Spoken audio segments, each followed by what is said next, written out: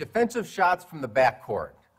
Now that you're stuck in the backcourt and your opponent is a good server and you're looking to get out of, out of this position, what are some of the shots that are available to you? Well, a couple. Number one, what you have to think about in outdoor that you didn't have to think about in indoor is you have no ceiling in outdoor. In indoor, the ceiling is generally is an out for defensive shots. It's the best defensive area to hit a ball to create a real easy defensive return by hitting the ceiling and having it slowly bounce high into the backcourt. Well, now you don't have a ceiling.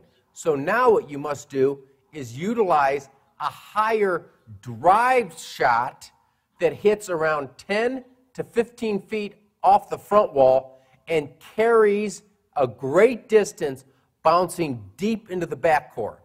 If this shot is hit too low, then your opponent, who is already in the service area or in the center court area, will have an easy setup.